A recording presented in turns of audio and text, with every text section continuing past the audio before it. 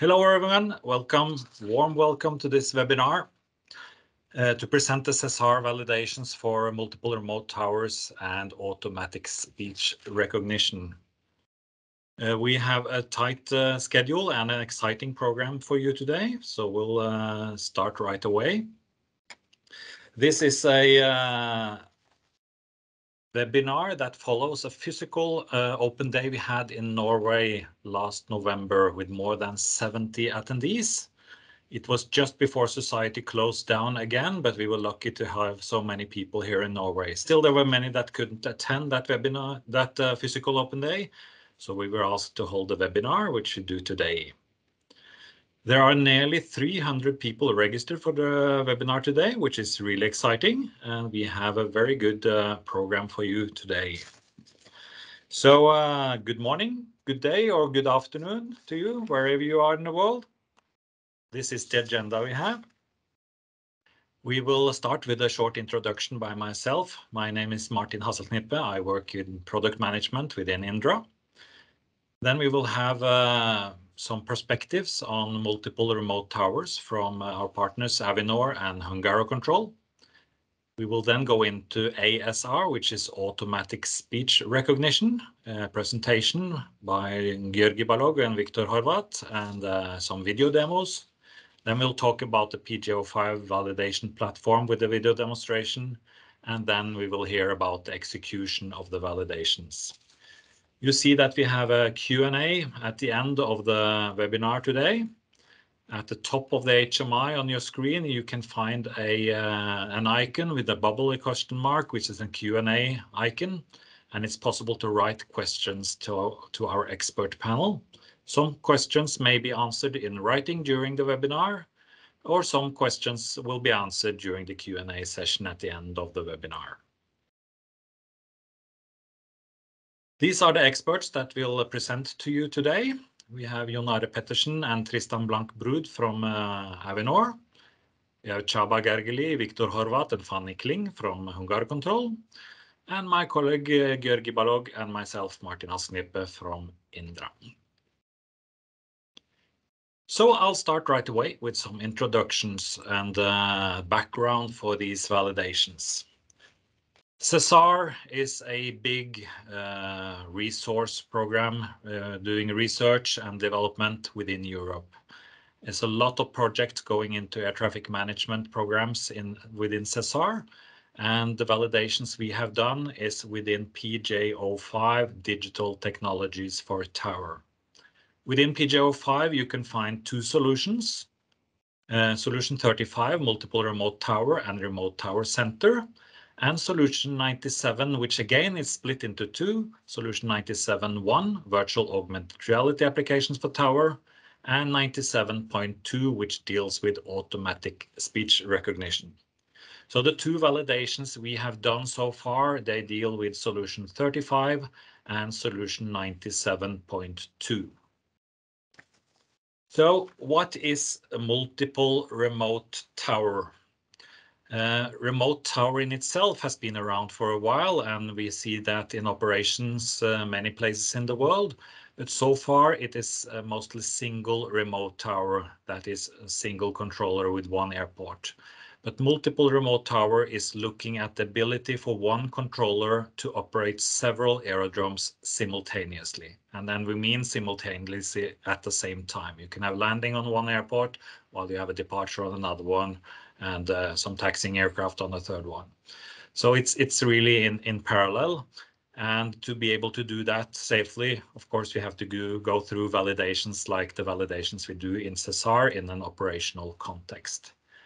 Uh, we did this in SESAR Wave 1 two years ago, but now we also extended it with dynamic allocation, and that means that we are looking at the remote tower center with multiple airports, with multiple controllers and multiple working stations, and how you can allocate aerodromes to workstations according to the workload and the traffic demand for those airports, and then change and move an airport from one controller to another when that's needed. So this is the dynamic allocation of multiple remote tower. I mentioned that we did some of this work during Wave 1 two years ago, But now in wave two, SESAR PJ05 wave two, we have this solution 35 with two objectives. The first objective is the multiple remote tower planning tools for supervisor, and the second one is the uh, dynamic allocation of aerodromes. So there are two focus areas here. Dynamic allocation, as I mentioned, how can you put aerodromes uh, correctly into controllers in a, in a remote tower center, but also looking at how a supervisor can help in this context. We have operational supervisors in large airport towers, and we have supervisors in area control centers, but supervisors for a remote tower center is something new, and we need to look at how the roles and responsibility can be in that context.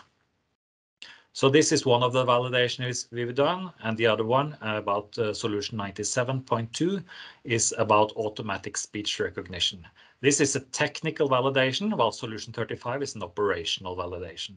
So this is looking more at the technology and how automatic speech recognition can be of help to the controller and how we can use it.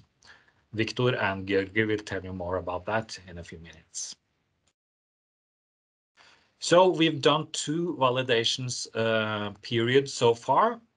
In September 2021, we had the validation with Avinor, focusing on solution 35, the multi-remote tower, that was a real-time simulation where we simulated four aerodromes uh, by using a simulator system from Micro Nav, the best simulator. And then in uh, November 2021, we had a similar validation with HungaroControl, also using a real-time simulator and, uh, and the same uh, setup as we did for the first one. But in this validation, we also included solution 97, the automatic speech recognition. Avinor validation took place three weeks during September 2021, and the focus was on air traffic controllers and supervisors. We had six ATCOs and six supervisors attending during those three weeks, and there were people uh, from with experience from large tower and small towers, and supervisors with experience from towers and air traffic control centers.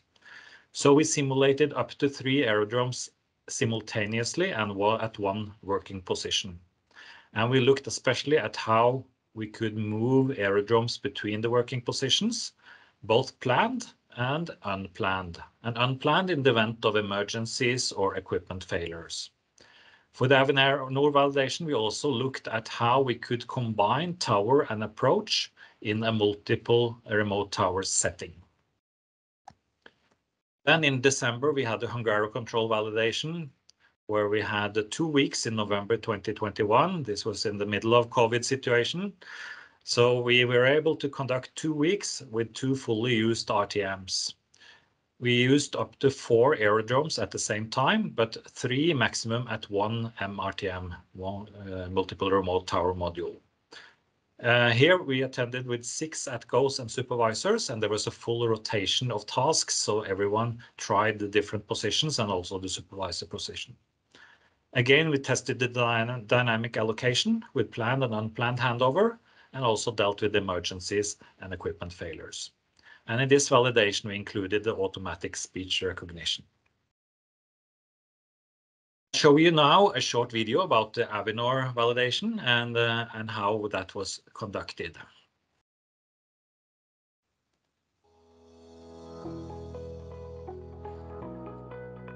We live in a digital era in which we quickly adopt new technologies to make life easier. Yet manual processes and visual observation, looking out the window, are still crucial for air traffic services at most airports. At Indra, we believe in progress. To improve efficiency of service, the InNOVA Tower System allows air traffic service officers to manage several airports from a remote location. Situational awareness is ensured by having all information and control systems integrated into a single user-friendly display. As part of an EU-funded SESAR project, Indra and Norwegian air navigation service provider Avinor have collaborated on research to further improve cost and operational efficiency. Avinor uses the InNOVA Tower system for remotely managing airports in the world's largest remote tower program. Together, we have successfully validated dynamic remote towers, allowing flexible allocation of airports between different working positions. In 2019, we validated that one air traffic controller can manage up to three airports from a single integrated working position. Now we've taken it one step further. We allow controllers to move control of airports to different working positions. If something happens so you need to focus on a single airport, you can transfer the other airports to your colleague. This brings a new level of teamwork and operational flexibility to air traffic management. During this validation, we have uh, simulated the operation of three airports from one single working position, but we have also introduced aircraft emergencies and uh, bad weather conditions. Uh, and we have also focused on the transfer of airports from one working position to another and included in that the supervisor role in the control room. The experience is that uh, it's good to integrate all the functions into one single uh, working position and to have all the functions that's uh, needed for the controller. That also helps us in organizing the service provision in the future. Like many other countries, Norway has a lot of smaller regional airports. They're operated by two to three controllers each. If we can do that in a remote tower center, where one operator can operate three airports, three operators can operate nine airports, we can get a more flexible service, uh, cheaper service, and not not to forget that uh, the work satisfaction per controller, each controller actually will increase massively. The future is here. Embrace the progress.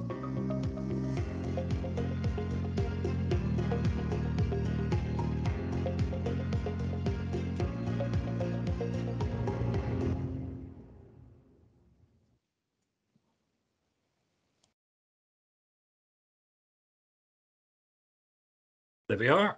Then we will uh, continue to uh, hear from Avinor on their perspectives on multiple remote tower. So I give the word to Jon Are Pettersen, Program Manager of the Avinor Remote Tower Program. Uh, thank you, Martin. Um, let's then just start the presentation here. Um, yes, my name is uh, Are. I've been working with this program now for the last six years. Uh, and I'm gonna give you a perspective on uh, on the remote tower program uh, and a Multi especially. So um, the journey that we have started on is really to get from a traditional tower with legacy system Uh, and then moving that uh, service over to something that looks like this. And, and this is really a a journey not only to do remote, but uh, as this SESAR exercise is all about, it's to get eventually to the multi use of the of the remote tower system. Um, This is much more than just replacing the out of the window view. Uh, if we were to take the um, existing tower systems and and take them over to a remote uh, situation, just uh, putting cameras to replace the out of the window view, we will not be able to move to multi. The, The original tower concept do not adapt to multiple operations, at least not the ones that we have today. Uh, so with the remote tower program, we both needed to get remote, but also we needed to do what's what's necessary to eventually get to multiple, and that means also changing all the ATM systems uh, so that we could eventually then uh, take multi into operation. So why are we doing this? And and as also mentioned in this video, um, there are two main drivers for this from a business perspective. Uh, we have a lot of old uh, tower installations. Uh, they are from the 1950s, 1960s, and they really need to be replaced, and it's quite costly to build new towers. So we had a large upcoming investment in the existing towers. But we also see that a lot of these towers have not much traffic, and we could reduce the operational cost by introducing multi. Uh, this could also give us a more flexible service delivery to the airport customers and also increase the readiness when needed, for instance, for ambulance flights and search and rescue. And the enablers for this is, of course, then to go digital. Um, with digital solutions, we have fewer buildings, we have less to maintain, but also we need to standardize on technology and and systems and standardize on operations. Um, uh, this again, we will need the more flexible rostering, and of course, then at the end of this, the multi-airport service provision. With the multi, we will get the, the we will reach the, the, um, the goals of reducing the operational costs. Uh, today, we have uh, uh, several towers with a lot of local differences, and that gives less efficiency. There's a multitude of legacy systems. These old towers or traditional towers have been built over several years. They are all built with the technology at the time they were refurbished. Um, some system have been changed, uh, of course, and are uh, the same in all towers, but but each and every tower look differently. Uh, and we have a lot of airport-specific differences, and also unit-specific differences. And and this also is shown by by a lot of different interfaces in HMI, and we need a lot of of local training, local procedures, Uh, not two towers are the same today, uh, when we operate the towers. Although we own all the towers and we operate um, uh, most of the towers ourselves, a few a few is operated by others, but but nevertheless, they will look different, and they do work differently. With remote towers, we remove those constraints. The remote tower program in Avinor, which I will talk a bit on uh, at the end, is about getting 15 airports for the first phase into the remote tower center, the main remote uh, tower center. There, we will have 16 working station, always one in spare, uh, which are all the same. We take out all the old legacy systems, we change both the... We take all the existing Uh, ATM system and consolidate into one screen uh, with one uh, HMI, and it's the same HMI for all the airports. Of course, there is a local adaptation to whatever sensors are at that specific airport and runway light setup, et cetera. But the HMI, the basic HMI, is the same all over. And especially when it comes to the electronic flight strips and the surveillance, that will be exactly the same for all the airport. Same uh, capabilities, the same training, the same um, the same operation for all airports. And also, these um, working positions in this new center will all be flexible. Uh, they are the same. You can take whatever role you like and just log on.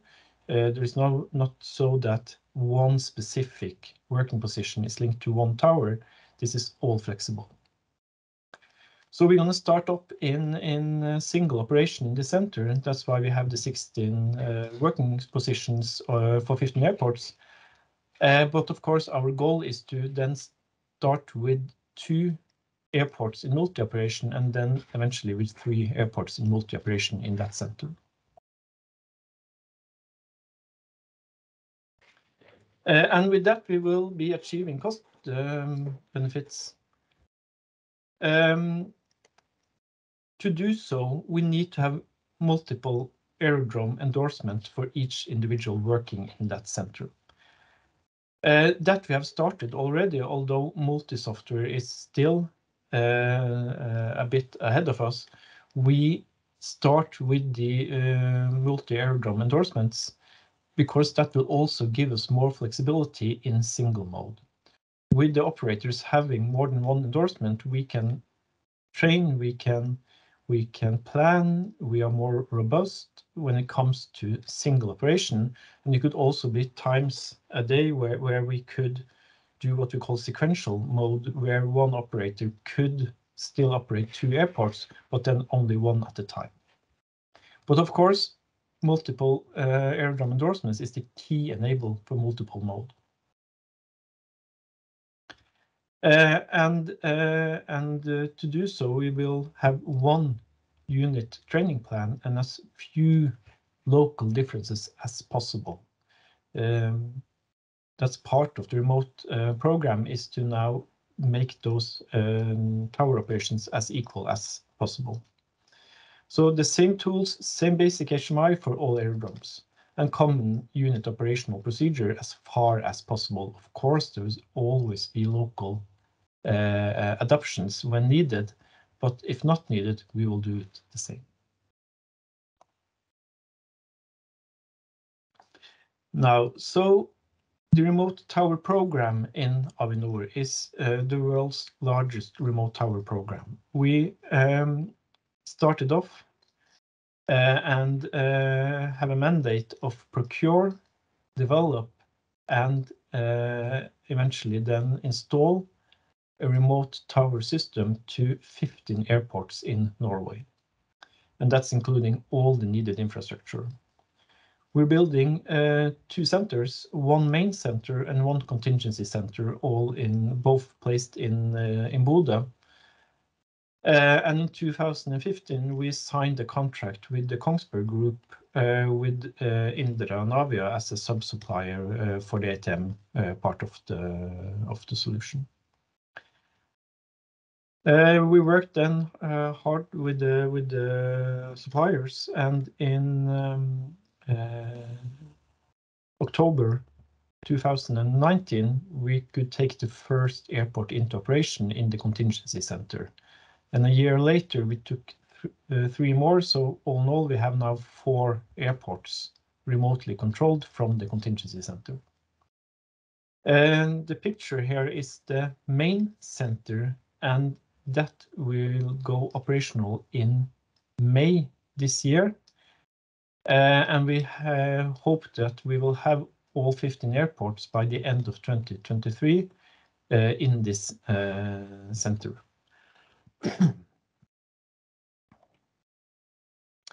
The main center, as you saw, is is now built. We are we have set up all RTMs to handle up to the 15 um, uh, airports. Um, this center is now uh, in the final stage of uh, testing. We have conducted both the FAT and the SAT on the software. We have done the passive shadow mode, and we are now doing the last week of stability tests on the on the software. So all in all, this center is now ready to be put into operation, and we'll do so early in in May. Um, starting off in single mode, um, as I said, uh, the position in front here, where where people now are just uh, sitting with the laptops, that will be the uh, operational supervisor position when we go into multi-mode. Then we will build up the supervisor position, and the supervisor will have a line of sight to each and every uh, RTM and, operator within this uh, within this building. So what we're doing in the SESAR validation now will be the next move in this center where we then uh, upgrade it, so to speak, to to go into multi Um, a few more pictures from the from the center. Uh, we really believe the center will be a, a really good place to work, we are able to to bring in a lot of um, uh, people to work together here. We have a, a strong um, uh, have hopefully also of good discussions among the the workers, and we will be able to build a much more flexibility and robustness into the operation in this center than than what we have today in the individual uh, towers. So all in all, we are looking very forward now to uh, to the next step with with the Multi. We're running forward with the single operation, and that is looking really good. Standardizing, Um, uh, preparing for Multi, and then um, exactly when we will start with uh, with Multi operation will depend on on the both readiness of the the software and also the approval of the of the authorities.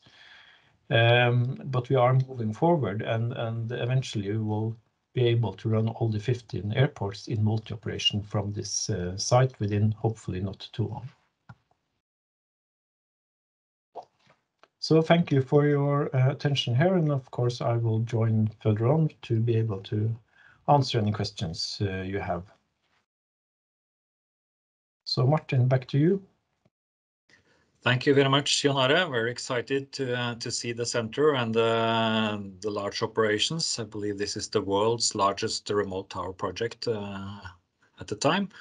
So it will be interesting to see when Multi also can be taken into use here.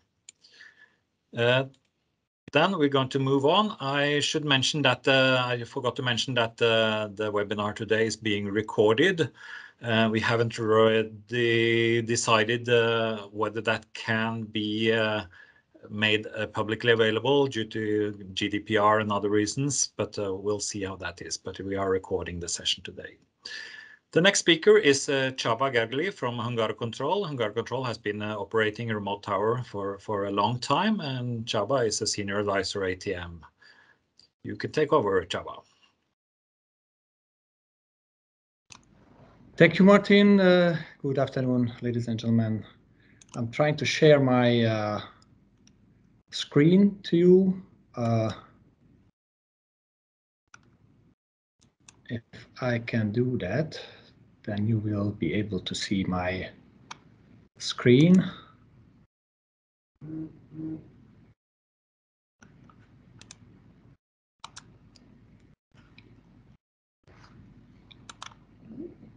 Yes.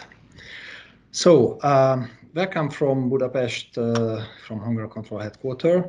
I will give you a short summary of what we did in the last uh, past years uh, within the SESAR uh, activities regarding multiple remote operations.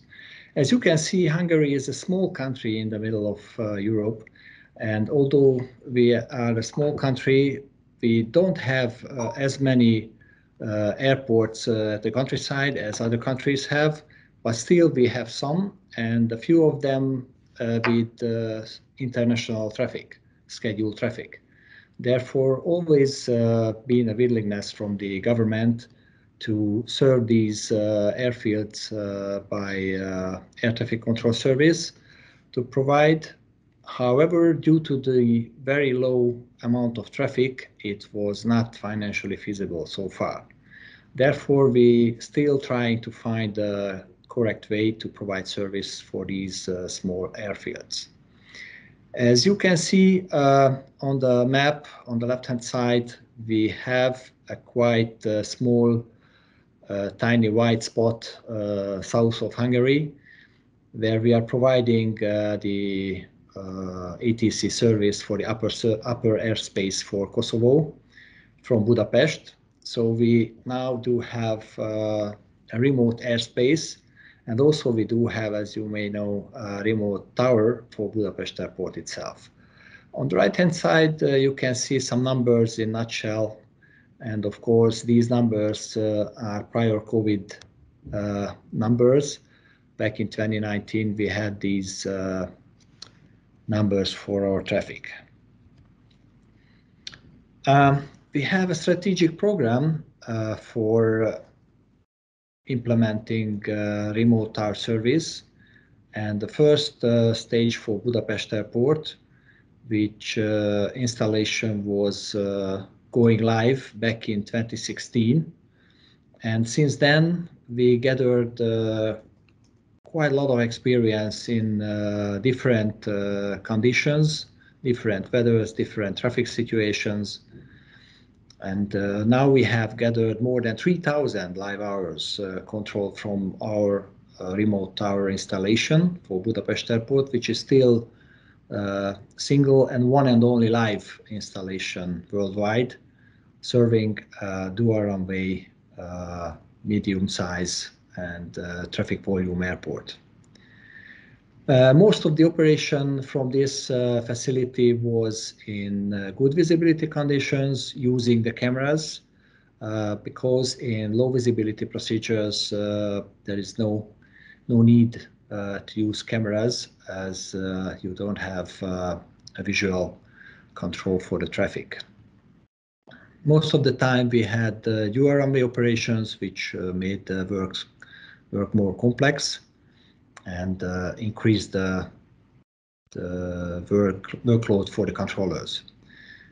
Uh, we do not have uh, too many VFR traffic, and therefore the system itself was uh, focusing uh, and designed to serve IFR traffics. Uh, that's what we have mostly at Budapest Airport. During these hours, we had emergency situations on hand and served uh, perfectly. We had uh, many training flights, especially during the uh, low traffic volume periods last year and this year in the in the COVID situation. And also we are facing almost daily with uh, different airspace and uh, airport uh, taxiway runway closures, which also increases the difficulties for the controllers. But so far, all the operations went uh, smoothly and uh, safely. Multi-remote operation. Back in 2017, we started to deal with multi-remote operations within the SESAR PJ05 project. Uh, at uh, that time, we've been uh, participating in cooperation with Frequentis and DLR we had this uh, live uh, simulation in uh, Braunschweig at DLR, including three airports from Hungary. one was Budapest with a simplified configuration and we've chosen just one runway of Budapest Airport.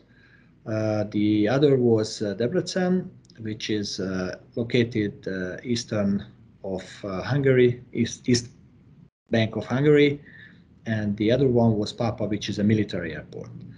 So these uh, different uh, style and different tra traffic volume airport uh, were chosen uh, intentionally. And uh, of course, at Budapest, we had the SMGCS coverage, which gave a lot of uh, extra information for the controllers. And the reason behind was to get an impression how uh, can it be difficult for a controller to handle uh, three airports with uh, different level of equipment and different level of traffic volume. At those at that time, in those days, we've been facing uh, and focusing uh, on the limitations of an air traffic controller. Uh, what could be the limitation of the traffic volume, the traffic intensity to be handled uh, simultaneously for three airports. And the aim was to reach uh, three movements per hour for the three airports altogether. And at that time, we did not had special uh, circumstances like uh, emergency situations but still there were some difficulties uh, during the simulations, which went, I would say, quite uh, smoothly and as expected. Uh, so therefore, we went on with this project, and uh, we made a passive uh, shadow validation uh, at Budapest after installing the camera systems for all the three airports and uh, controlling the passively monitoring the traffic, not controlling, but monitoring uh, from the centralize the controller working position. The lessons learned, uh, the usability, situational awareness, and uh, the procedures. We got uh, a better understanding and better knowledge uh, how these these kind of operations with the multi-remote can be uh, increase uh, situational awareness, how and what conditions to be needed for the controllers to handle the traffic safely and uh, what requirements towards uh, not only the uh, technical system itself, but the procedural and the training side for the human staff to provide the service without any issues and increasing the safety. So last year we went on with this project with uh, in cooperation with Indra. And uh, last November we had a simulation in Asker at uh, Indra's headquarters. Uh, we provided the solution 35 with multiple remote tower planning using the planning tool provided by Indra. And uh, we had quite a lot uh, lessons learned during these simulations. Uh, the results uh, will be introduced later by my colleague, uh, Ms. Fannikling. And also, uh, we had uh, Solution 97 uh, simulation using HungaroControl's developed, in-house developed the automatic speech recognition system, also in cooperation with Indra. and the details of this speech recognition system will be presented to you later by my colleague uh, Viktor Horváth. So uh, we had real, real-time simulation in Asker last year, and in this year we will have a passive shadow mode validation in Budapest, also using a live camera feed from uh, three different airports at the countryside. And we have, we've been uh, installing a controller working position in uh, HungaroControl headquarters in Budapest. So back to the uh, live simulation details. Uh, as uh, Martin was uh, mentioning, we used the same installation what Avinor used, uh, but we had our own uh, controllers with the background of several years uh, controlling uh, traffic in Budapest airport.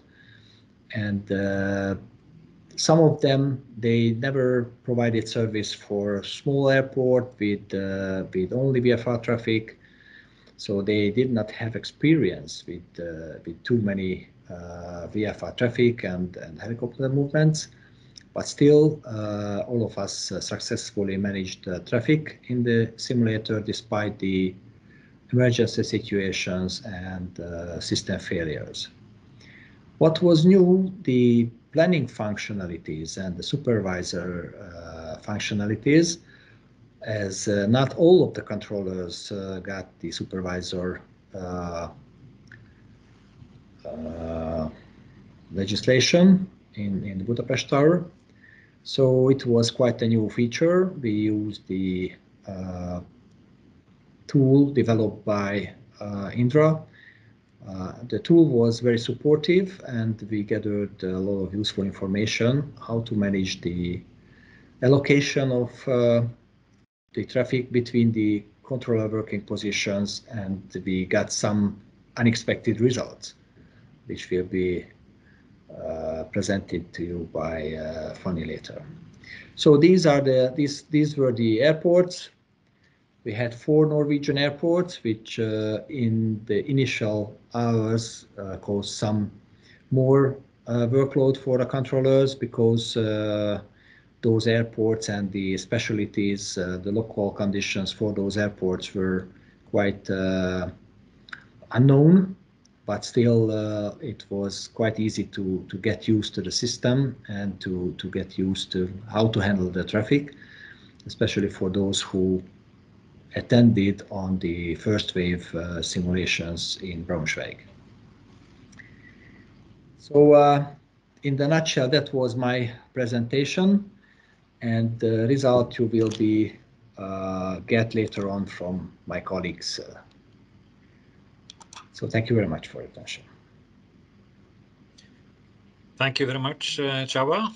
Very interesting to hear. Uh, we will now move on to uh, the next part, talking about automatic speech recognition. It will be presented by György Balogh and uh, Viktor Horváth. But before they start, we'll show you a short uh, introduction video to this topic, which is a new topic to to us and to, to many, uh, automatic speech recognition in ATC environments. So then I'll switch over to the video again.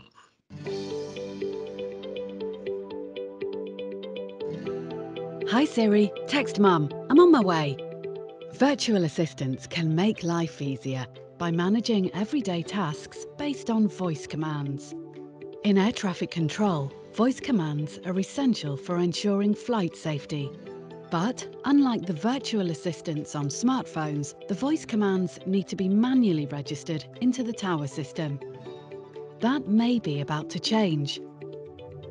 Indra is working with HungaroControl in an exploratory project funded by EU's SESAR joint undertaking to develop automatic speech recognition aimed at air traffic control. The goal is to reduce the workload of the air traffic controller. The system recognises verbal instructions related to a specific flight and automatically converts them to inputs to the tower management system. This eliminates the need to manually enter the instructions in the system. The principle is simple. The air traffic controller gives a pilot a command through Indra's Garex voice communication system a module developed by HungaroControl interprets the spoken words and converts them into call signs and commands in text form. The text is converted to actions in Indra's InNOVA electronic flight strip and tower system. Scandinavian 4558, lineup runway 07. Lineup runway 07, Scandinavian 4558. Automatic speech recognition saves time for the controller by reducing manual registration of commands. The controller can focus on more essential tasks, improving flight safety and operational efficiency. North Shuttle 15 Tango Kilo, runway 07, clear for takeoff, wind calm. Clear for takeoff 07, North Shuttle 15 Tango Kilo. The future of air traffic control is digital. Embrace the progress.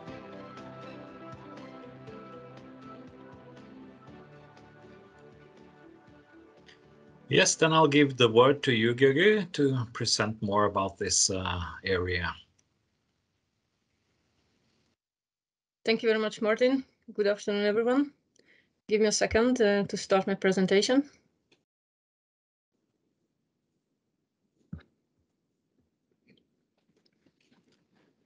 So uh, let me uh, talk a little bit about uh, the automatic speech recognition, which is a part of the SESAR 2020 Wave 2 PJ05 Digital Technology for Tower project.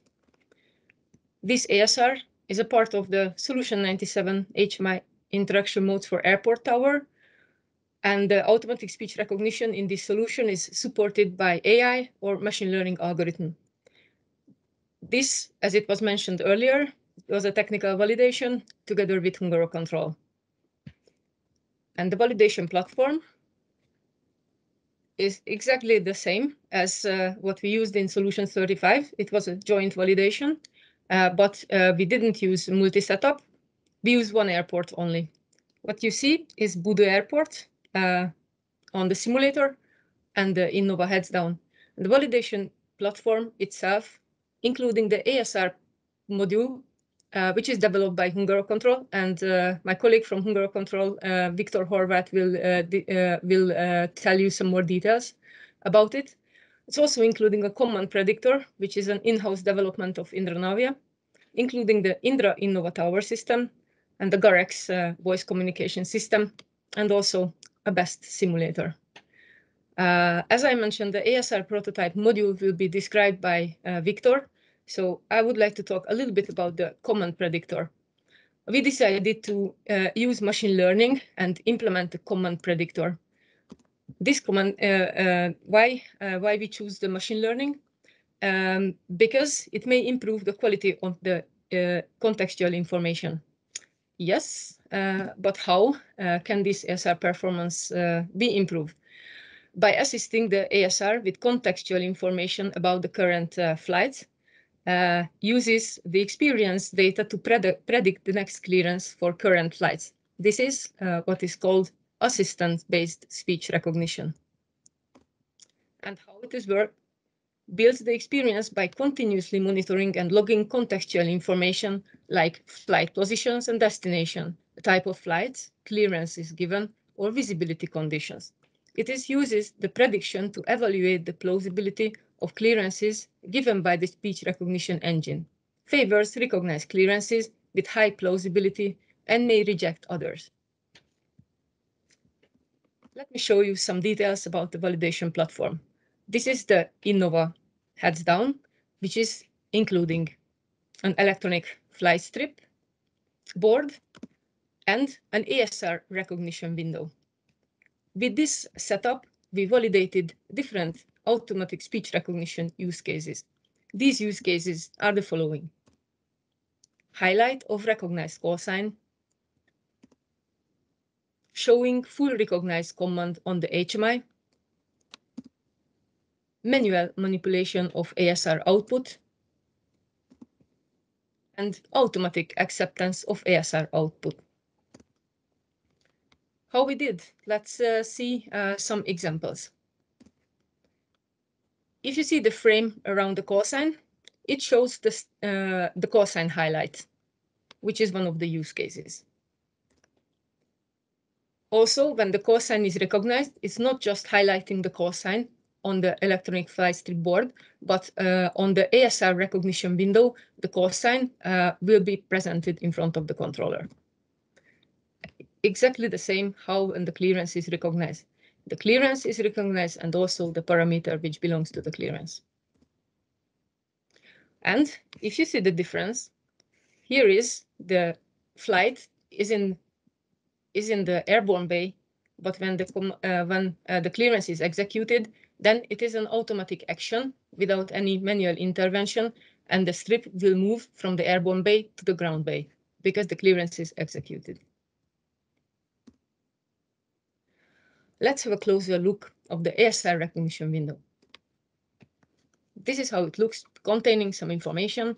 As you saw earlier, the recognized call sign, the recognized clearance, the parameter, which belongs to the uh, recognized uh, clearance. In this case, the 07 is the runway direction, but also have some other information. For example, a time timer, which countdowns for five seconds before the clearance is automatically accepted. This is a configuration parameter, so it can be set to any other value. If the controller is not happy with the recognized uh, uh, clearance, then can reject within this five seconds. And also, it's possible to accept the clearance within this five seconds. So in the next minute, uh, I will show you a short video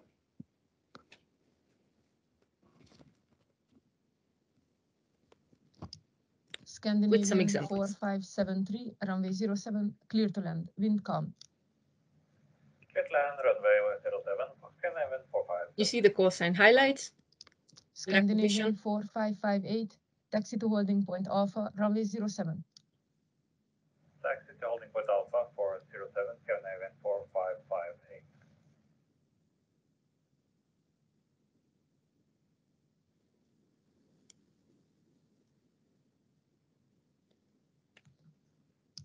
Widerøe 864, startup and pushback approved, QNH 1006. Startup and pushback approved uh, 1006, Widerøe 864. Scandinavian 4573, runway 07, clear to land, wind calm. Clear to land, runway 07, Scandinavian 4573. Scandinavian 4558, taxi to holding point Alpha, runway 07. Input alpha for 07 Scandinavian 4558.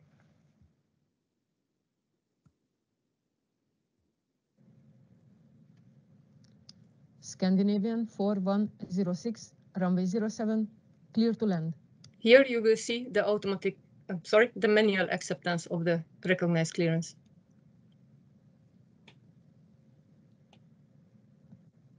North Shuttle 15 Tango Kilo, taxi to holding point Alpha, runway 07. This is a wrong recognition, so the controller rejected. North Shuttle 15 Tango Kilo, taxi to holding point Alpha, runway 07.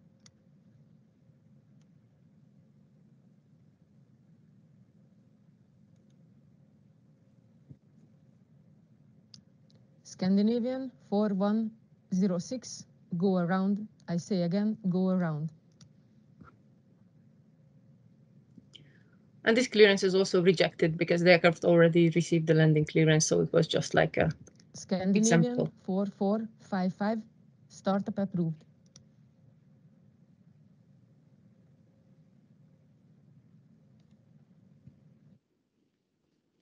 It was a very short introduction of the ASR, so thank you very much for your attention. And I will give the word now to uh, Viktor Horváth, who will give you more details about the ASR module, how it works. Thank you, György. Good afternoon, everybody. I share my presentation with you.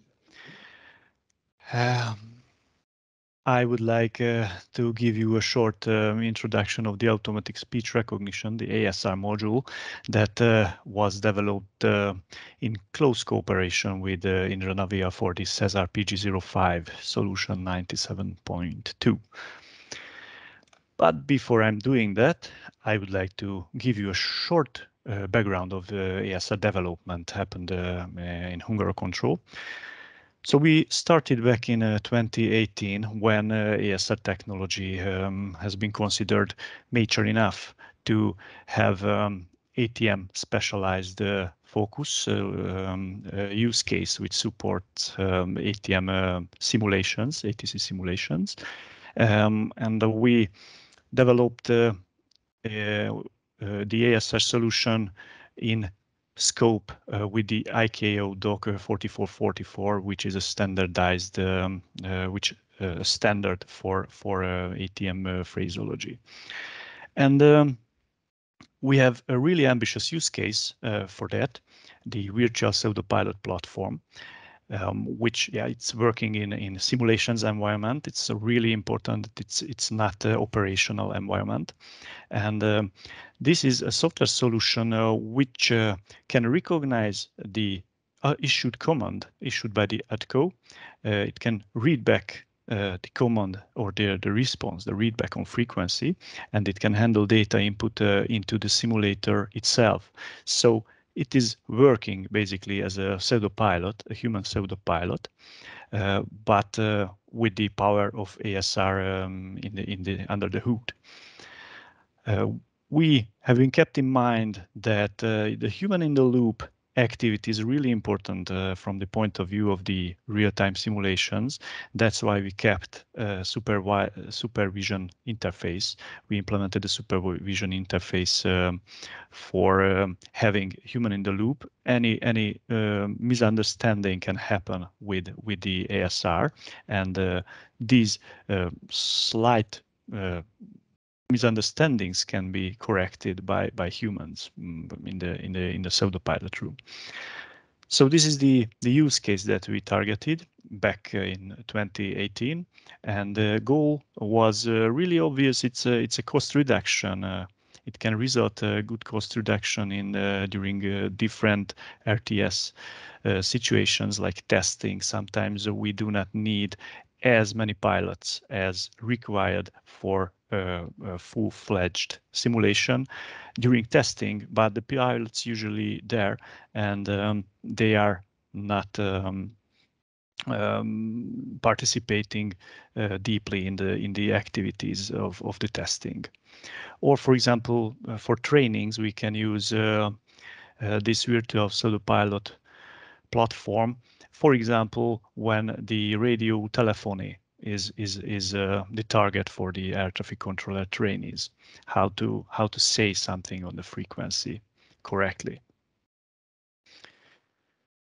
So it's uh, we started the journey uh, to find a suitable ASR technology, and we targeted the ICAO hybrid language, which is a kind of English with with modif modified pronunciation.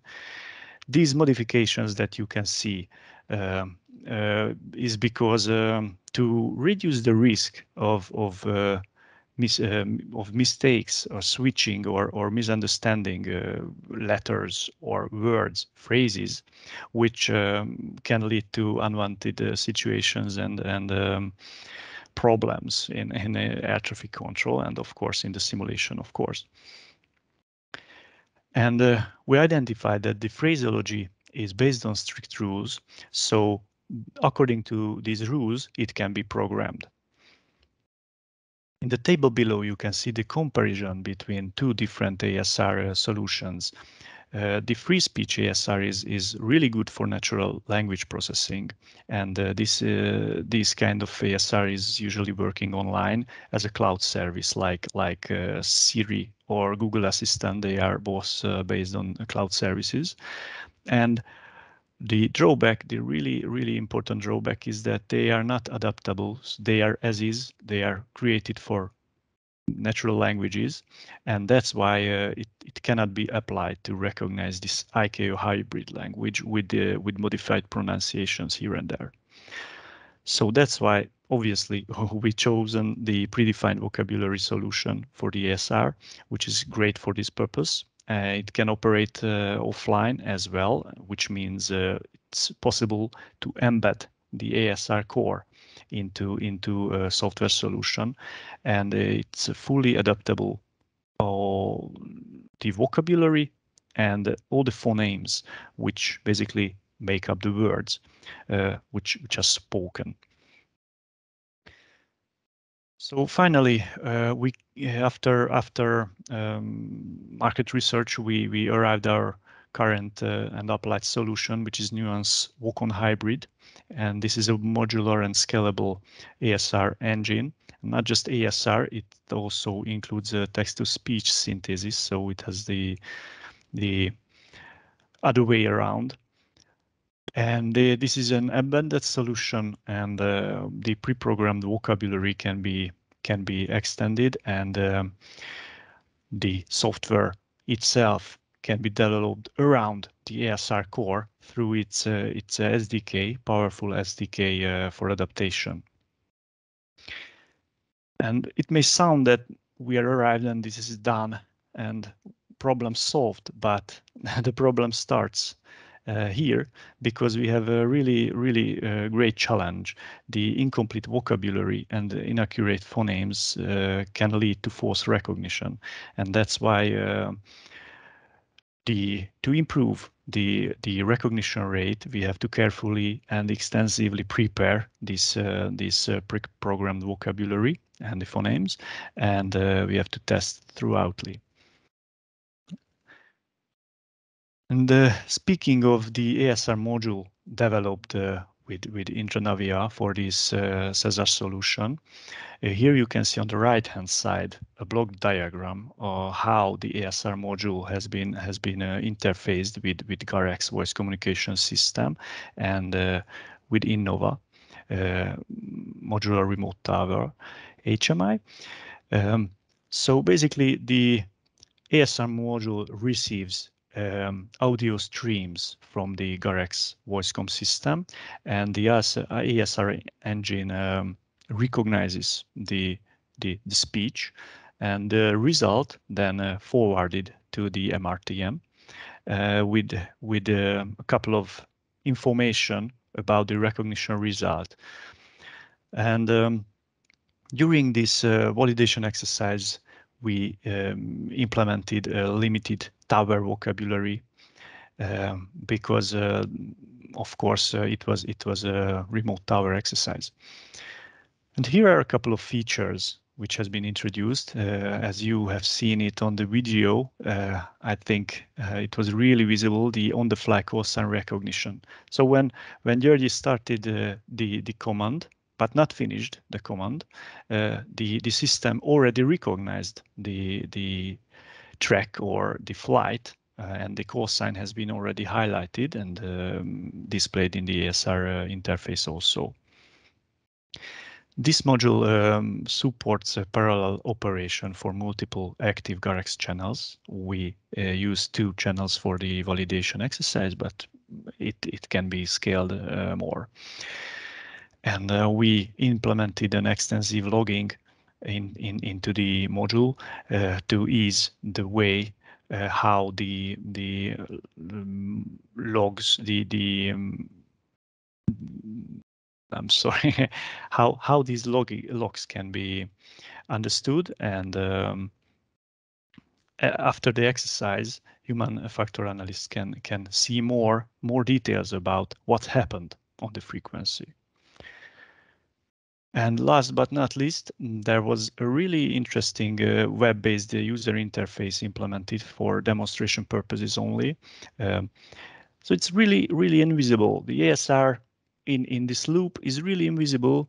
You are not sure what's happening under the hood. And that's why we introduced this demonstration tool to visualize uh, each and every single uh, element of an instruction and uh, to see what is the recognition rate of, for example, a given call sign of, um, of, a, of, a, flight or uh, the rest of the command and the pieces of the command itself. I would like to introduce you briefly the ASR development team in HungaroControl, Gábor Kispál and Roland who put together this uh, solution. And uh, I would like to give some credit for them. And I would like to thank you for your attention. Thank you, Martin. And please don't forget to ask anything in the in the Q&A session in the Microsoft Teams. Thank you very much. Thank you, Viktor, and thank you, György. We have already received a couple of questions in the Q&A feed, and we'll uh, come back to that in the Q&A session at the end of the webinar to answer those. So that's a very interesting uh, technology, which is, uh, again, is an exploratory validation. So it's focusing on the technical part and not the operational part in this validation. It's quite early in the maturity process. We'll continue with the validation uh, platform, and I will talk about that, uh, the validation platform. We've seen some examples on it in videos and, and uh, also in the ASR. And here you can see in this uh, picture from the validation with HungaroControl that we had two uh, multiple remote tower modules, which they are called MRTMs. So two of those in the validation uh, each of them can show up to three aerodromes at the same time, and they were fully flexible. So any aerodrome could be shown on any display slots, and also the controllers could themselves select which aerodrome should be in this position. So that's the new thing in this uh, this uh, validation that it uh, the dynamic allocation both by the controller also between the controllers. Normally, the controller themselves select which aerodrome to have, but there's also an ability for the supervisor to do that work. So we have the supervisor position. You don't see it right in this picture, but we have the supervisor position with some tools to assist the controllers in the remote tower center. Here you can see a schematic of the same setup with the two MRTMs at the top left and top right, where you see slots for three aerodromes on the heads up, the, the um, out of the tower window view. And then on the heads down, it's a single heads down screen.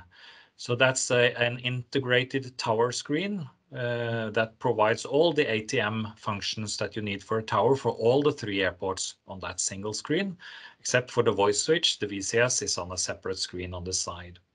So we had two of those MRTMs and then one supervisor with a dual screen and a voice switch on the side. Connected was also four pseudo pilots in the in another room. They were controlling the aircraft and controlling vehicles and uh, responding as remote uh, destinations, approach or fire service or uh, military or uh, the airport authority in the validations. So that was a part of the simulator to to be able to control all this. This picture shows a more uh, overview of the MRTM, you see the three different uh, aerodrome display slots out of the tower views, and then the 43-inch touchscreen in front of the controller on the desk, and the voice switch screen on the side. The heads-down screen is uh, a touchscreen, but the controller could select whether they wanted to use touch or the mouse on the side there. The voice switch screen is a touchscreen. So the out of the window view, the heads-up is provided by the Micro Nav BEST simulator. So that provided a tower view for all the three airports you can see at the same time. The heads-down screen is the part of the Indra InNOVA ATM system, and this is an ATM system that we provide for operational use, both for small towers and large, complex towers uh, around the world. Also, the supervisor tools is a part of that eh, Indra InNOVA tower ATM system. The voice communication system used is the Indra Garex voice switch, and then, as we just heard about from eh, Viktor and György, the automatic speech recognition engine from HungaroControl connected to this. So we've done further prototyping on all these elements to adapt to the multiple environment and the dynamic allocation. So when looking at uh, heads-up, we have these three display slots uh, for the three different airports, A, B, and C. And you see that the screens for the A display slot is a bit larger. This is to resemble uh, the implementation Avinor has in Bodø. You saw on the slides and the pictures that were shown by Jon Are Pettersen earlier, that they had larger screens. And in the multi-setup there, the A slot will have a 360-degree view, while the B and C slots will have a 180-degree view. Uh, in this validation for the simulator, we had a 180-degree view on all the three slots. The A, B, C uh, setup is the same on the heads down. So the lower uh, aerodrome, A, is on the lower, both on the heads up and heads down, the same with the upper left and upper right. Uh, the heads down, as I said, has support for up to three aerodromes. You see the background is a surveillance picture. And these aerodromes that we simulate uh, in the validation, they don't have any ground surveillance in real life, so we didn't provide any ground surveillance in the validation. Most of these smaller airports don't have that, so we only have air surveillance, and we had uh, limited the air surveillance to above 300 feet. But we have the surveillance picture, so all airports had surveillance in the air. We had approach tools for the for the airport, one airport that we tested combined tower and approach. We have the electronic flight strips on the lower right side uh, of the screen there. We had MET information coming from the simulator. We had the aerodrome selection panel, where the controller could select which aerodromes to have on his uh, on his uh, screen. It could be selected in view mode or in a full operational mode. And then a planning tool, which is new in this multi-setting, planning tool, a timeline for the controller to look at uh, how the traffic develops over time. So if we look closer at this part in the lower right side, which we call the dashboard, the dashboard contains a, the upper part is the timeline, which is the ATCO planning tool. And the planning tool shows uh, all the flights that are present and in the future as a line in the timeline. So you can see where, at what times you will have multiple simultaneous flights, And, and by that, get an assessment on the workload you can expect in the future. You have color coding, same color coding as you do in the flight strips to see what's IFR, VFR, arrivals, departures, etc., and get some more information. And the controller can select to what time span he wants to look at, whether it's only the next 20 minutes or whether it's the next four hours. The lower part is the electronic flight strip uh, system, and it's divided into three here, where you see the three airports separately. So we have a separate uh, EFS for each of the three airports, and because these are simple airports, we have a limited number of uh, flight strip bays. We have an airborne bay, a runway bay, and a ground bay, in addition to two pending uh, bays, pending arrivals and pending departures. So you see the same color coding being used here, and also for vehicles. And you can also expand these flight strips to get more information on the flights. And the EFS is used to, to log the clearances given, line up clearance, clear to clear for takeoff, clear to land, etc. And that will move the strips between the base. And that was done automatically with the speech recognition as we saw earlier. So this is the dashboard part of it. The voice switch also supports uh, communication with the three aerodromes, up to three aerodromes, and voice communication is important part of this validation, both for to see how the communication with aircraft and vehicles is, but also between the airports and use of, of aerodrome call uh, names in the call signs or in the in the clearances. Uh, the voice switch is also connected to the InNOVA system, so when the controller selects a new airport into his working position, the voice switch will also be automatically reconfigured, and frequencies and direct access telephone keys will be added for that airport. So it's consistent. All the parts, the heads up, heads down, and the voice switch are, are uh, configured automatically. The tower, we separated between tower frequencies to talk to aircraft and vehicle frequencies to talk to vehicles. They were separate and they were also separately coupled in this validation. So we had one coupling group for all the tower frequencies between the three airports and another coupling group between the vehicle frequencies. And for the controller, we provided a microphone with two buttons. So the upper microphone button, the orange one, uh, then you uh, transmitted to the air uh, tower frequencies to the aircraft and using the black lower button, then you transmit it to the vehicle. So we wanted to avoid too much pressing and reconfiguring on the touchscreen itself. The controller could press either of those two buttons to transmit to either aircraft or to vehicles, which worked uh, very well. And also, of course, the, the voice switch uh, provided the simulated telephone connections to approach uh, to fire services, airport authorities, military, etc. Then on to the operational supervisor working position. Uh, as I said, this is an important part of the validation, a separate objective as the, supervisor role in a multi or in a remote tower setting at all is, is uh, new. So we wanted to see how that worked uh, and how we could support the controllers in that aspect, but also give the supervisor a way to plan the allocation of the remote tower center. He has to plan which airports to combine to a controller, when to split them, etc. And then he needs some tools. So we have developed through this uh, project some tools to test out in the validations.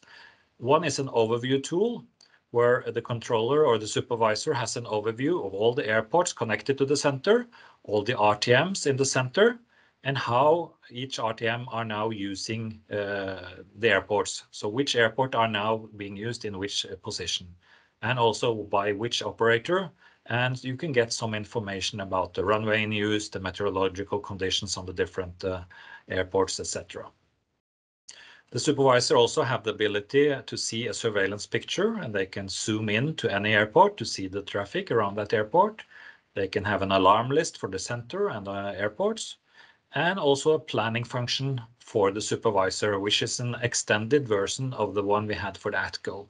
So the supervisor is able to see the traffic for all the airports in the center and can also have combine uh, logically uh, different airports to see how that works in the future. So that's a what if function for the supervisor to see what if I combine these two airports or these three, how will that work out in the future? And then you can plan how to, to merge or split aerodromes on the RTMs.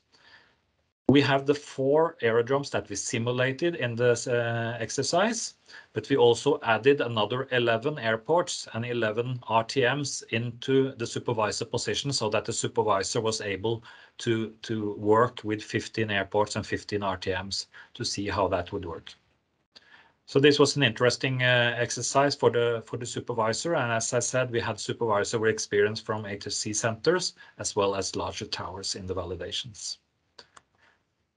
To provide the, the out of the window view we, and also the stimulation to the system, a very important part is the simulator, and we have a good cooperation with Micro Nav that uh, provide the best simulator for this. They have two versions of this, the best tower and the best radar. And in this uh, simulation, we use the best tower, but also the, the airspace from the radar to be able to simulate the approach functions. So Micro Nav has provided the simulators for many years and are based in the UK, providing this for, for ATM uh, training and, and validation purposes. Micro Nav also developed uh, and further enhanced the product to be able to support this multi-concept. Uh, so the single simulator was able to provide uh, simulation data for four airports at the same time. And as you see, we had three physical screens showing each airport, and we had one computer feeding those uh, three screens.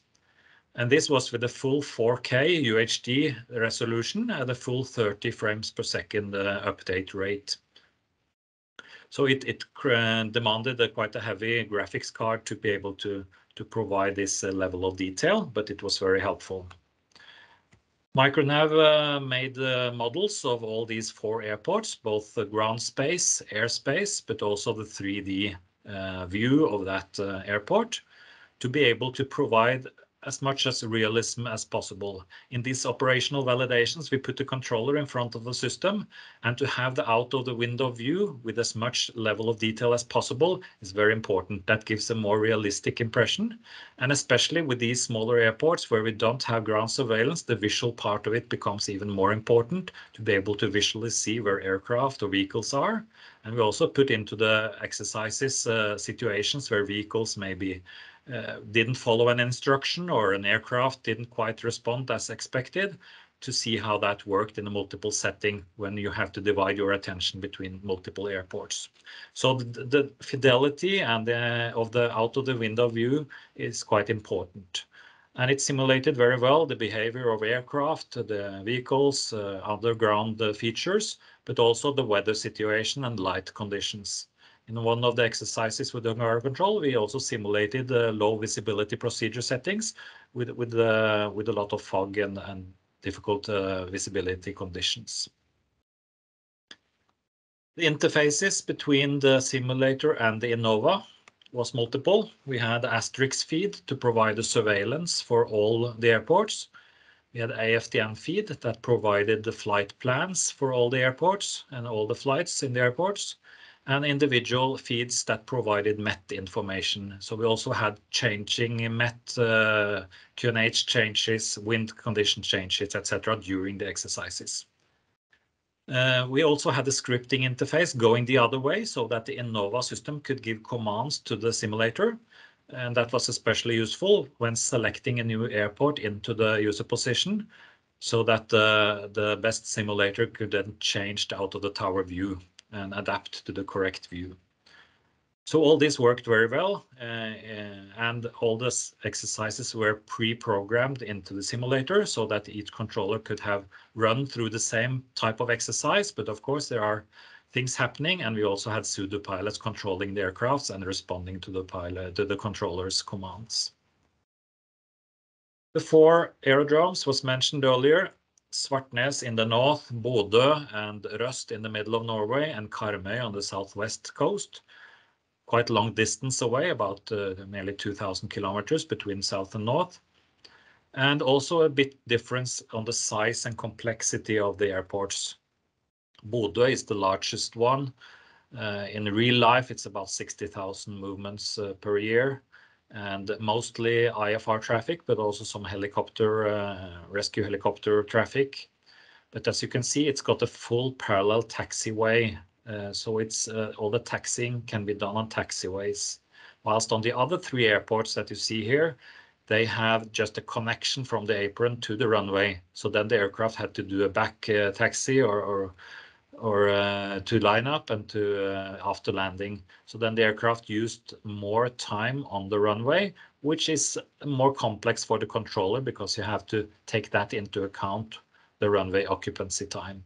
So not only the number of movements drive the workload, but also the complexity and the layout of the airports. I'll show you a short video demonstration of the platform and how it was used and then I'll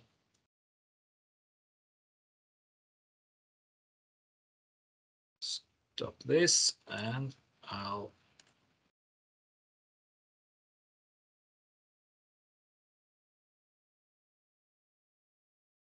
turn over to a video.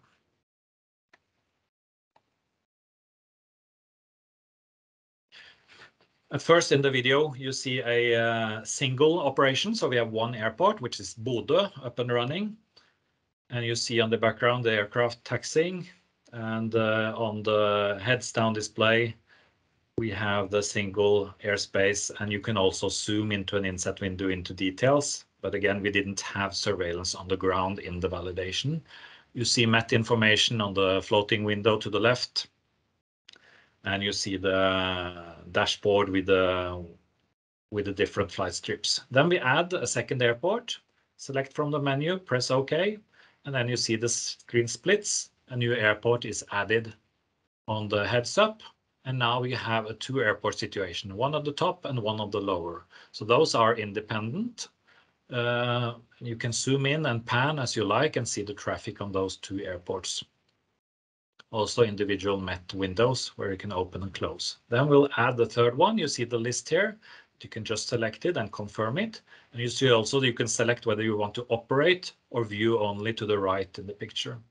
In this uh, example, we have taken right into operate, but in the validation handover, you first take it into view mode, and then you get acquainted, and then you do a handover to operate the airport. So now you see that the third airport is being displayed on the heads up and also on the heads down on the upper right side. So now you're operating on three aerodromes on this uh, on this MRTM. And you also have three aerodromes in the dashboard to the right with the EFS, etc. And you can also see the traffic on the three different aerodromes. So now the controller has to divide attention between the three you can have taxiing aircraft, you can have aircraft taking off and land at the same time on the three different. So the human factors things and aspects come strongly into uh, mind here. When the traffic increased, and hopefully the supervisors who detect that before the traffic becomes too much, then you can split one airport and send it over to another position. And as I said, normally you take it up to view mode on the new controller. The new controller that can then look at the traffic, see the traffic on the heads down, and when the two controllers agree, they do a handover, and the new controller will take the airport into operations mode.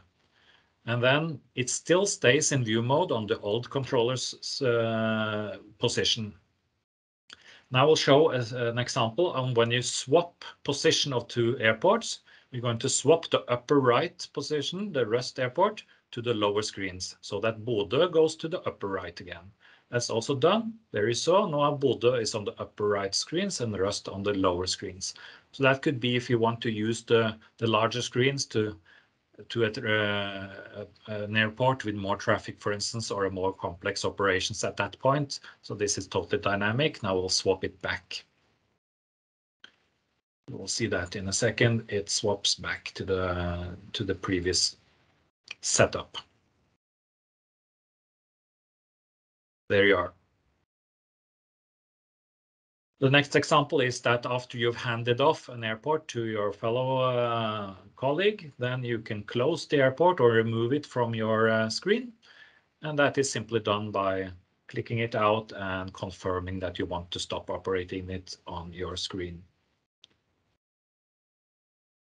And then this RTM goes back to a two aerodrome operations mode, again with the two on upper and lower on the side here, and the same on the heads up.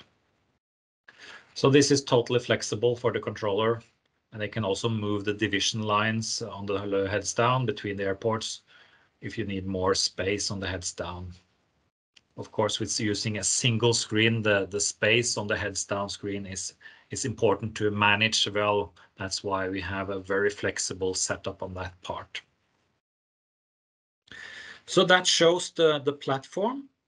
Then we'll move over to the validation execution. And uh, you give me a second, I'll give the word to Tristan, and uh, you can start uh, showing that how that was done in Avinor, Tristan. Thank you very much, Martin. Uh, hi, everybody. I'm um, just going to load and presentation should come now. So my name is Tristan Blanc-Brud. I'm working as a um, human factor specialist, both for this uh, SESAR project and for the remote tower project um, in Avinor. So I will present you how the, um, the validation, uh, Avinor Indra's validation uh, was conducted. I will start with um, a reminder, introduction of the objectives uh, we had for validation. So we had a set of um, common objectives for both the uh, ADCOs and the supervisors uh, that were agreed among uh, partners uh, of the same uh, validation. So here you can see the different validation objective topics. So uh, workload was one of the topic to um, validate that the workload uh, can be maintained uh, at an acceptable level. Another topic was the situation awareness, uh, that uh, situation awareness uh, also can be, um, is at a good level in this context. That the HMI also uh, usability uh, and uh, utility is uh, is good so that uh, the uh, design is efficient. also operating, we have validated that the operating methods to enroll multiple aerodrome or supervise multiple aerodrome for the supervisor were um, efficient. We also uh, evaluated the roles and responsibilities so that the, the roles and the responsibilities for both actors, the ATCOs and the supervisor in this context uh, of multiple operations were uh, acceptable. We had also objective uh, related to the trust uh, in the system. And also we have uh, we could explore um, an objective to explore transition factors. Um, that is to say, to identify, uh, try to identify uh, uh, training needs or um, new competence requirements. And uh, last but not least, safety. So to ensure that safety was maintained.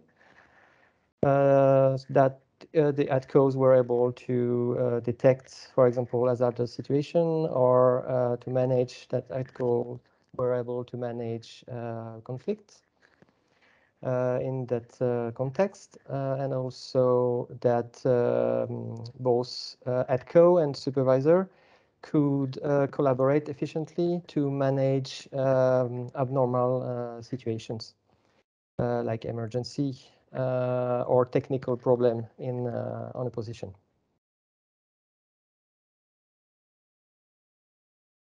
Uh, the next uh, slide uh, is about the participant. Uh, so we had four ADCOs. So we, has, we had six two days session for ADCOs in total. Uh, that was for the SESAR validation because the SESAR validation is focused on uh, control aerodrome. But we also ha had uh, um, validation days with AFISOs since uh, for Avinor validation purpose, since uh, Avinor is also operating AFIS uh, aerodrome remotely. We had in total six supervisor, two from ACC, and four from uh, big towers.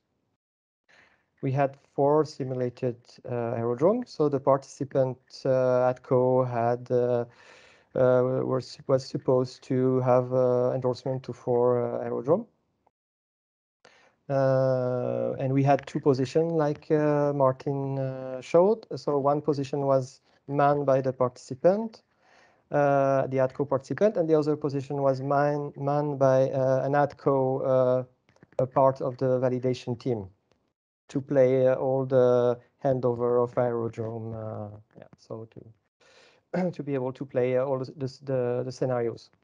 And then the, the supervisor had uh, an extra uh, 11 uh, virtual aerodrome in addition So a total of 15 aerodrome for the supervisor to to monitor. So the uh, the schedule for the validation, we had a two-hour, uh, started with a two-hour uh, introduction and a two-hour training. And then we had four, uh, five different uh, run, each run uh, lasting one hour. And then we had at the end of days the debriefing and, and a final questionnaire. So if we look a bit into detail in the um, in the different uh, runs and scenario. Each run was uh, focused on a specific topic scenario. So the first run, as you can see, was uh, focused on a merge uh, topic, so merge scenario, so merging um, aerodrome into the same uh, position. So the ATCO started with one aerodrome, uh, then had to open a second one on the same position and then um, received uh, a third one that was handed over by another uh, uh ATCO. So of course the scenario was designed, uh, the traffic level was defined in a way to allow for uh, handling more aerodrome into the into the position. And you can see on the the right column gives you an idea of the of the traffic level for a maximum sim simultaneous movement for each uh, run. So the second run was focused on uh, split.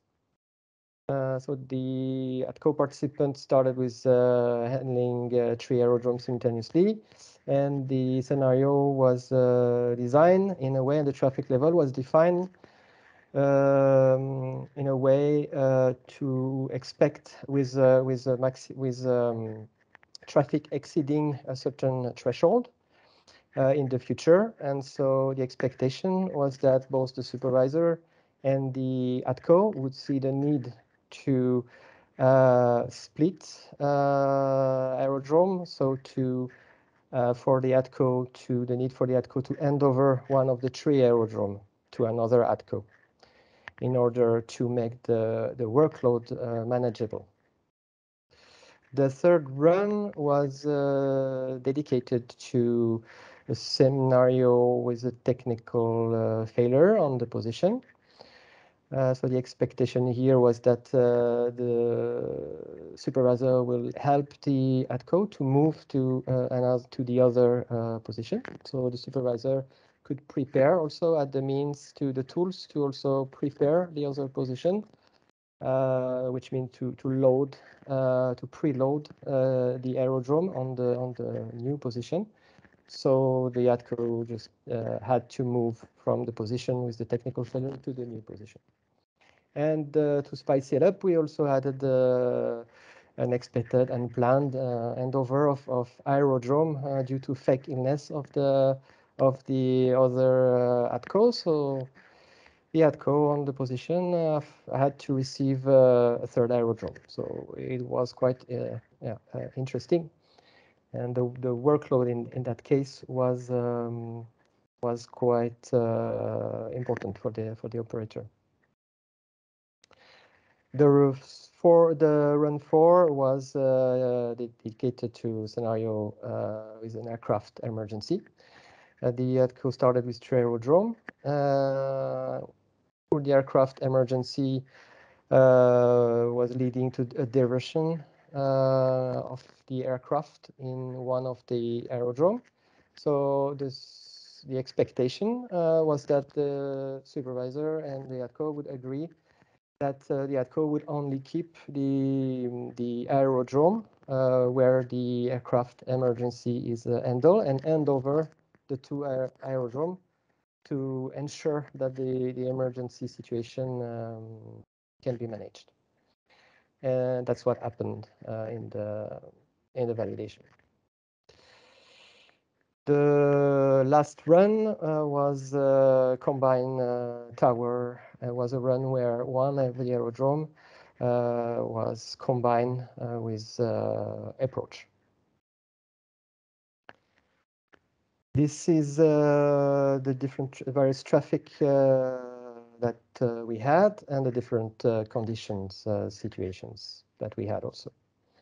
So we had some change, of course, and unexpected situation to be able to measure the the the, the situational awareness uh, level, for example, or uh, to evaluate the safety uh, objectives.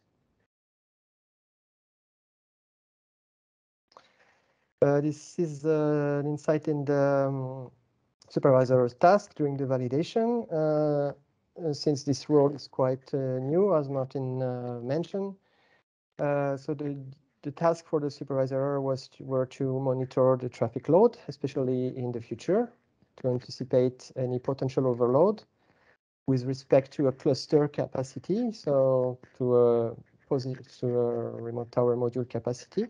With we had uh, for the exercise we we defined um, a rule uh, with uh, rule of uh, of mm, eight simultaneous maximum uh, simultaneous movement with uh, VFR counting as 1.5 movement.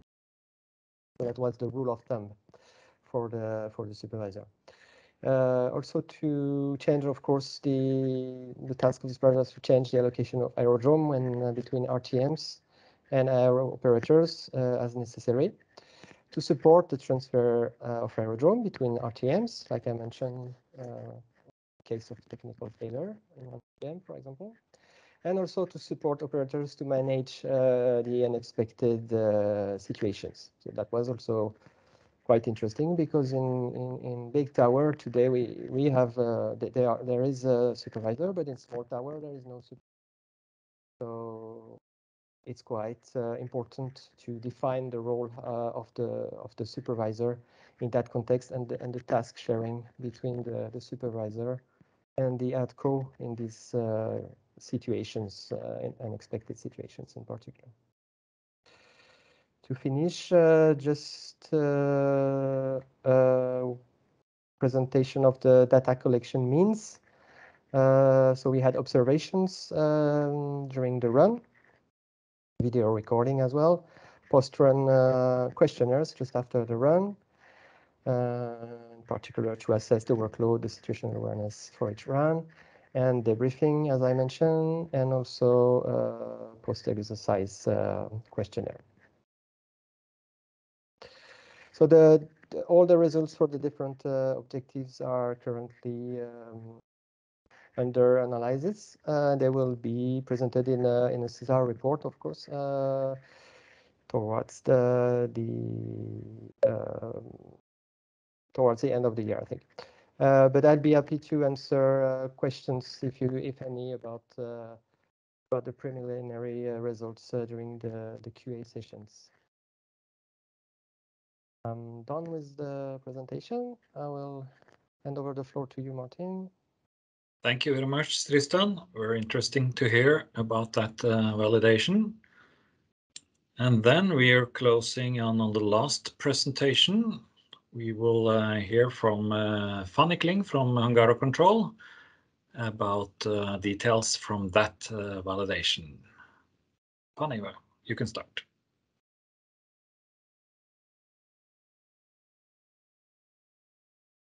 Thank you, Martin. Okay, Just a minute.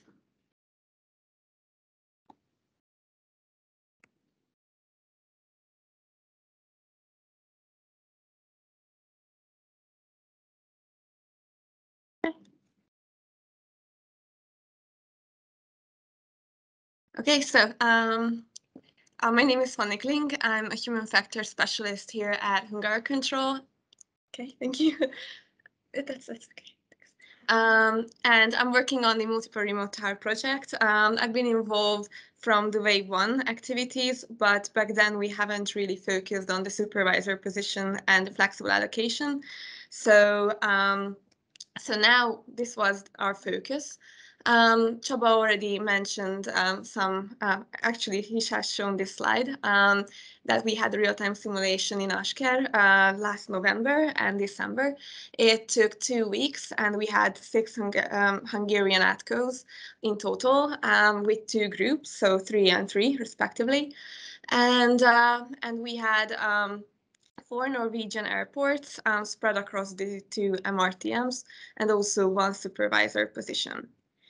And um, I was actually wondering that maybe I could uh, show you also some of the results because the analysis has been done.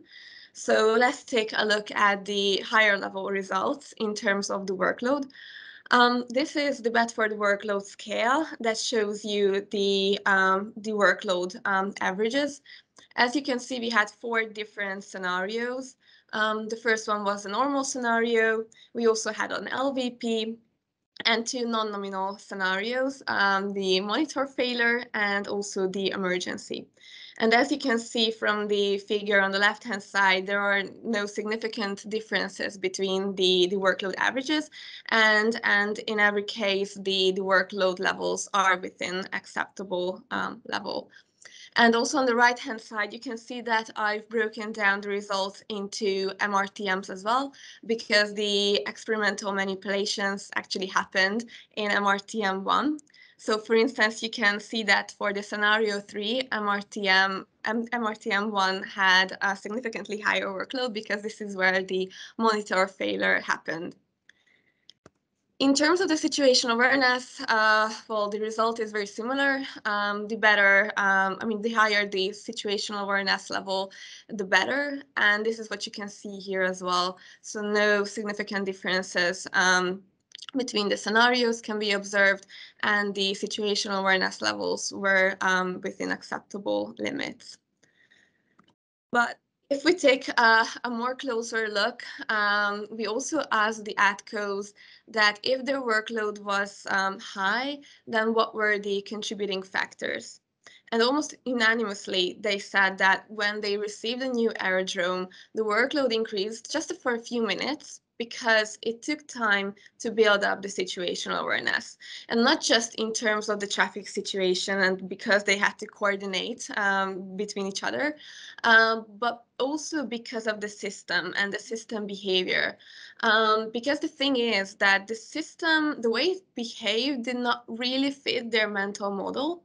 And this brings us to the second point that whenever there was an aerodrome switch, you know, between the MRTMs or even just within the MRTM. So if the ATCO wanted to, to swap the positions of the aerodromes, the radar map shifted um, to a particularly odd position. So sometimes the EFS covered um, the, the new um, position of the, of the radar map. And interestingly, the MET window uh, remained on the same spot. So this uh, led to confusion and also a temporary loss of situational awareness. So because the, the system behaved as it did, um, actually ATCOs preferred to leave everything as it was, and they were pretty reluctant to move the aerodromes within the MRTM. Um, but it, in all fairness, it has to be said that the HMI and the and the system has been tailored to Avinor's needs. So that just goes to show that what works in one setting may not necessarily be applicable in another context of use. So it's very important to also consider the the environment in which it will be used and the and the users who will work with the system. Mm, regarding the split and merge, because this was also, again, something brand new for us, uh, we also asked what caused difficulties during split and merge. So if you take a, a, look on the pie chart, you can see that in most of the cases, um, the workload remained at acceptable level during the split and merge. But there were some cases, some occurrences when the workload of the ATCOs were was pretty high. So the handover process um, led to some difficulties, and sometimes even the supervisor had to jump in and help out um, for the ATCOs. But um, I would say that the split and merge was really, really appreciated. Um, and sometimes, uh, in fact, almost always, uh, ATCOs and the supervisors use this two by two aerodrome distribution um, because that really balanced the workload and, and it made everything really, really smooth. Um, okay, so I was thinking that maybe I will not really um, talk too much about the about the ATCO HMI because of the time limitation, and we'll just jump right to the supervisor system, uh, given that the supervisor system is is really uh, a focus here um, in this solution. So um, you can see that the uh, on the pie charts um, that the feedback was really positive. In fact, the supervisor system was highly praised. So I brought you also an extract from the feedback um, where they claim that the planning tool in the supervisor timeline is the best tool for a supervisor in an environment like this. It is really useful, although it could be a little more accurate. Um, there were some issues with the accuracy, but uh, but ATCOs went to the MRTM and double checked uh, the traffic and made their decisions based on all the information that they could gather. And it was really nice that the that the supervisor system actually has shown this um, this simultaneous movement. And whenever it was above the threshold, which was uh, more than six, um, simultaneous movement within the MRTM, then it turned to red. So it was quite visible that there will be some overload. In fact, uh, you can see here in this next slide that there is this yellow bar that we had also, which indicated the, the overload periods within the MRTM. So the supervisor's situational awareness was really supported uh, by this system. So we also asked, uh, what would you say were the biggest challenges as RTC supervisor? And here are the, the um, things that appeared most often in the questionnaire. So to stay in my place and not to take part physically in the situation. Maybe bigger distances between the positions and direct phone lines would have solved this issue. Uh, and it is true that it actually came up quite frequently that the simulator was really small in the sense that the, the supervisors and the MRTMs were quite close um, to each other. So often the supervisor just stood up and went to the MRTM and, and observed the traffic and, um, and also helped out during the split and merge. The other one was to precisely identify the peaks. I needed to analyze the data provided by the system because the yellow mark periods were not real peaks in most cases. So that's true, there were some accuracy issues, um, but anyways, the, the whole system truly supported the work of the, of the supervisors. Um, and also uh, an interesting uh, one is the last one, to make ATCOs understand the need of splitting. Um, I really like this one because some of the ATCOs pointed out that when they um, when they um, controlled um, the in the MRTM the traffic, um, and there was a, um, a, supervisor decision to split, then they felt that it actually hurt their pride because they felt that they could actually continue uh, the work, they could provide still the the ATC to to the aerodrome, yet the, the supervisor made this decision so it was it was also interesting to hear this from the supervisor point of view. Uh, another system recommendation was that the supervisor position should have a quick access for a view-only radar visual and voice function of any airport.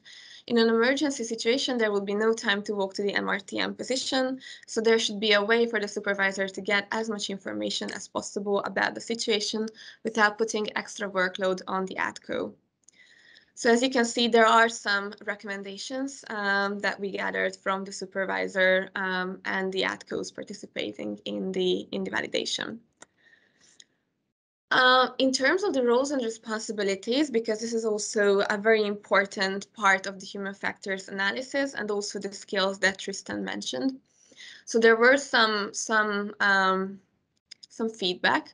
Uh, one of them was that the sectorization was a little unusual for for our ATCOs because um, I don't know whether I mentioned this, but out of the six uh, controllers, three of them are also supervisors at Budapest. Um, but this is a medium-sized airport, and they don't need to sectorize um, there. So that was a that was a brand new um, brand new thing for them to to be really good at during the simulation.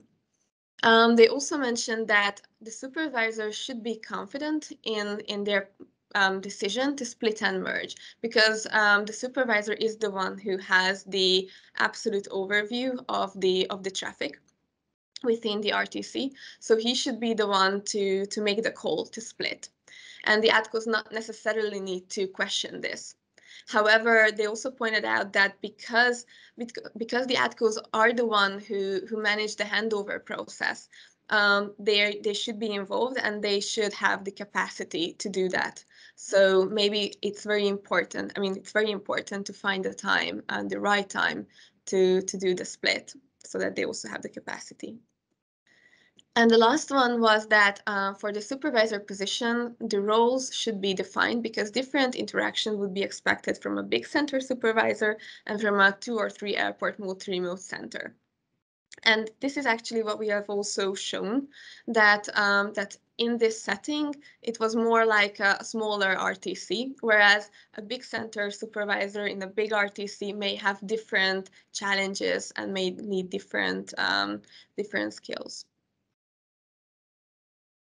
And the last slide, I believe, is the safety and split and merge. Um, unfortunately, Zoltán Molnár, my colleague, um, couldn't be here, but uh, but it was really important that uh, when there is an additional aerodrome, the situational awareness um, is or will be temporarily lost, and workload may increase. So therefore, as I said, it's very important that the timing of the split has to be um, very well thought out and uh, it should happen during the periods with lower traffic. Also, we have to provide sufficient time for the receiving ATCO to build up the situational awareness. Um, another uh, requirement or recommendation um, that the new aerodrome shall not mix up the layout of the HMI in such a manner that the ATCOs lose situational awareness and also that moving the aerodrome with more traffic can be problematic. So the best uh, the best was always when we switched the the aerodromes with the lower traffic, uh, so that the receiving ATCO didn't have a lot to to um, to get accustomed to. Whereas when we moved the the bigger um, aerodromes with more traffic, then it took more time and the workload was obviously a little higher for the receiving ATCO. Okay, um, so that was it. Um, thank you for the attention. And if you have any questions, then I believe that we can come back to this in the Q&A. Thank you very much, Fanny. That was very good. Then I'll uh, we'll move on to the next part, which is the Q&A session. And we've had a few questions. So we'll start with one. How often had the ATCO, this is about the automatic speech recognition, how often had ATCO to reject a wrong detected clearance percent? Was there a difference between incoming radio calls and calls by the ATCO? And maybe you could answer that one,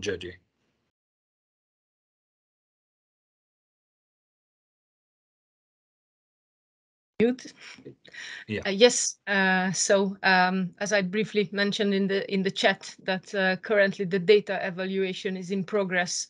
Uh, so uh, no percentage is available at that stage, and uh, because it was a technical validation, we put a bit more focus on how the the technology works and the accept reject manual interaction was a bit like um, driven by uh, by us, uh, less by the traffic. So we several times asked the controller to accept or reject independently of the of the recognition.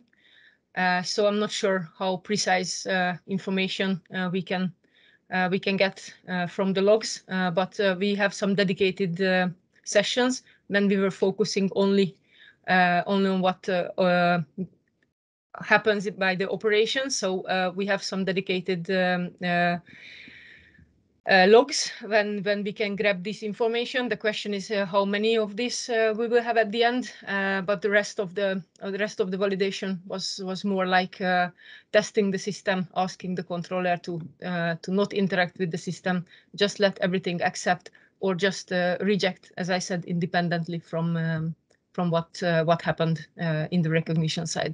So it's not easy really to to answer this question. And the other one is what uh, is the difference between incoming radio calls and calls by the ATCO. In this validation, we used only the ATCO radio channel, so we didn't um, uh, we didn't uh, recognize the channel of the pilot. So it means that um, the difference is that we have data only from the from the ATCO side Uh, this is a prototype, and this is uh, uh, this is something very new for us. Uh, so that was the very very first implementation, and the decision was made to to to start with this implementation. Thank you. The next question, also about ASR. Speech recognition in this case is just to get the log of the clearances, right? What happens about rejection of the recon? It's obvious it must learn from its mistake, but what else? And maybe Viktor, you could say a few words about that. Yes, thank you, Martin. Um, yes, I tried to sum it up in, in a in a comment below the question. Yes, and uh, it's partially right, uh, but um, not not completely true that uh, it's it only uh, transmits the log of the clearances because um, an, an instruction clearance is is um, is described by um, so-called ontology, which has a which has a structure. And uh, to put it simple, the structure begins with a sign. It it has a main main uh, clearance part, which is which is a category clearance category. We can we can uh, imagine it uh, that, uh, for example. Uh, a pushback is is a is a different category than takeoff. So we have we have a sign, a main command or a main clearance, and uh, if there is any parameter paired with that clearance, for example, a waypoint or or a runway or a parking position, etc. So these uh, are parts of a clearance which are uh, recognized individually. So all these elements has uh, their uh, recognition scores, which shows the the probability probability of of uh, successful recognition. And all this bunch of information is transferred to to Indra system to to handle and uh, to display uh, on the on the hmi uh, if there is a low uh, recognition rate it's displayed uh, with red. It has a medium one which which turned out to be really accept acceptable during the um, the uh, the validation. And if it's green, then everybody knows it, it was perfectly recognized. Okay. Thank you. I think we have time for just one more question. And I think Jon Are, maybe uh, this is for you. In terms of percentage, is there an estimate of the total cost reduction with the use of the remote tower system? well, that, that's a, a, very good and very interesting uh, question, of course. Um, first of all, I don't think we should should go into our our business case module in in in the meeting here. But um, what I can say in general is that of course establishing remote towers has a cost, uh, absolutely, and especially uh, for the first movers here. Um, the there is an an upside with the using of remote tower systems, and it comes from scale and it comes from uh, moving into multiple operation. So so um, uh, I, will not say a number in percentage here, but but there is a positive business case uh, of it uh, in terms of of um, reaching, in our case, then 15 airports and and with the um, introduction of the multi. When it comes to the efficiency of the of the operators, we see that we can have approximately a 40% increase of the efficiency of the operators itself, but it comes with the costs of of the technology and investments. So so you can't transfer that directly to a um, to a business case uh, view. So um, uh, that might not be as precise uh, answer as as one uh, would like to have here, but uh, it is positive and it it lies, as I say, in the in the scale of it. Okay, thank you very much. Then we have one minute left, and uh, I would just use the opportunity to, at the end here, show you two upcoming SESAR validations. We'll also be having open days. So in uh, March 2022, we will do another validation with HungaroControl in another project, PJ02, which is uh, routing and guidance on the ground to look at follow the greens and how procedures on the ground can uh, detect and, and, use conflicts. And that will also be a real-time simulation. And then in April, as was mentioned earlier by Csaba, we will have a validation in Hungary, in Budapest, with Indra camera system uh, installed on three different airports, and that will be a passive shadow mode validation. So we will look at real traffic, and the controllers will deal with the real traffic and, and, and do that in a passive shadow mode validation. So both these uh, validations will have open days, physical open days, one here in Norway, in Asker, 5th of April, for the routing and guidance, and one open day in Budapest, uh, 3rd of May. So we hope uh, everyone is able to come and see that. So then we thank you very much for this webinar. Thank you for all the presenters. Thank you for all that watched. And uh, uh, yeah, hope to see you again the next physical event. Bye-bye.